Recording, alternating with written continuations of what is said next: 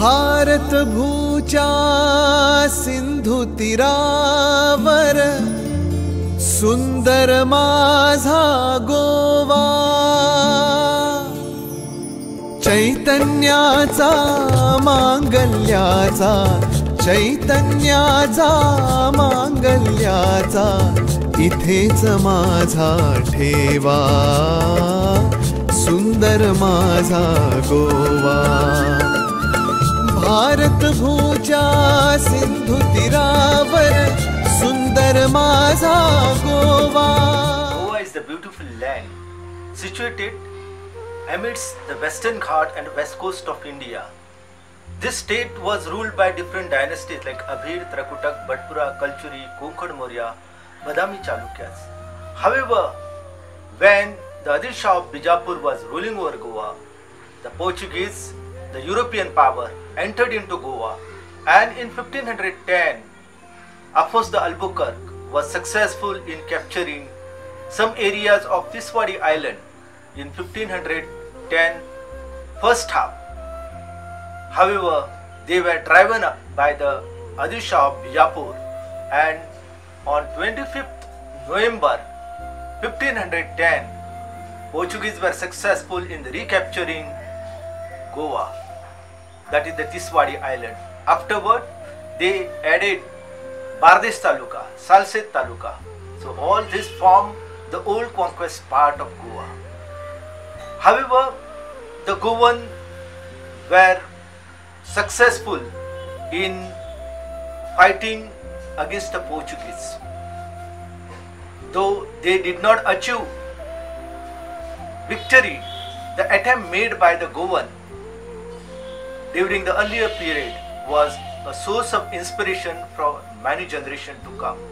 And the first struggle was launched by the people of Kunkolim in Salcete Taluka.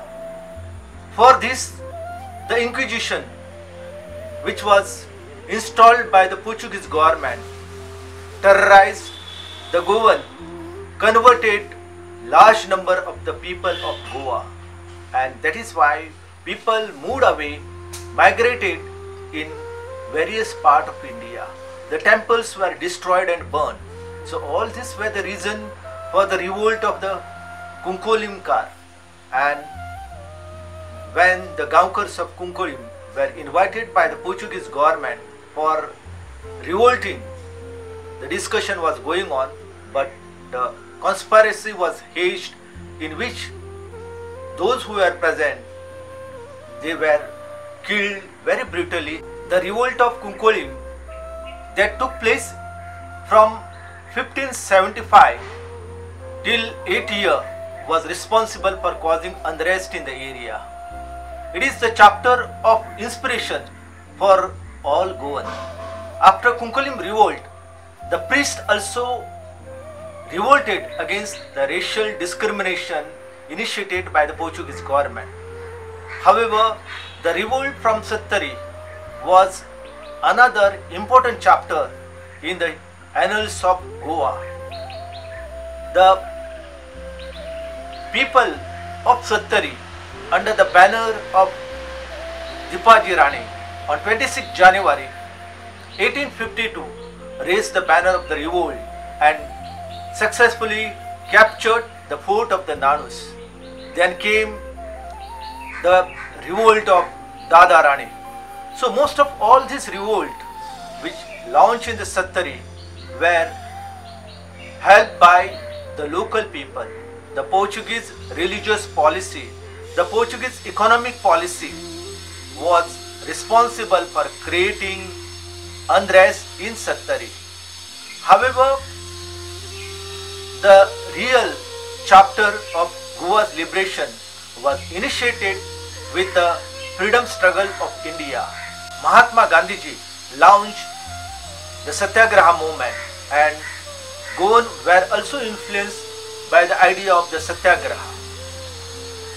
There were the revolutionary leaders like Bhagat Singh, Sukhadev, Rajguru who also created impact on the mind of the Goan and that is why Azad Gomantak Dal or Goa Liberation Army, Revenge Patriot and many other organizations which took birth in this spirit. They initiated armed revolt in Goa. They fought against the Portuguese. The Satyagrahi movement was successful in creating awareness throughout the Goa. However, June 18, 1946, with the coming of Dr. Ram Manohar Lohia was responsible for creating more awareness as far as the Goan are concerned. So Goan got united and they decided to revolt against the Portuguese rule. So it was the revolutionary day for the Goan 18 June 1946. Balaraya Mapari from Maite Asnura became the first martyr for the liberation of Goa. After him, Balakrishna Bhosle, Kamil Pereira, Soma Malik, more than 32 people were killed by the Portuguese soldiers. They become martyr for Goa's liberation. Today, when we celebrate the 60 years of Goa's liberation, it is the moment of proud for all of us. We have to remember them. Finally, because of the mounting pressure on the government of India, government under Nehru took the decision to liberate and Vijay operation was launched and on 19 December 1961 Goa became the part of Indian territory. Goa, Daman and Diu became liberated from the yoke of the Portuguese rule. It is on the day of 19 December we have to remember the martyrdom of the innumerable freedom fighter from the Goa and also from other part of India like Pannalal Yadav who died for the cause of Goa's liberation. The struggle launched by them is a source of inspiration for our generation and generation to come. So on 19 December this year we have to take the pledge that we will work to protect the sovereignty of India along with the Goa, our land which is blessed by the beautiful nature and environment. We have to safeguard it. So protecting environment, ecology and wildlife will make Goa strong and powerful.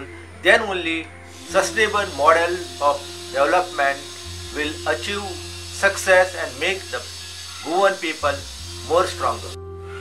On this auspicious occasion, I give my heartiest greeting to all.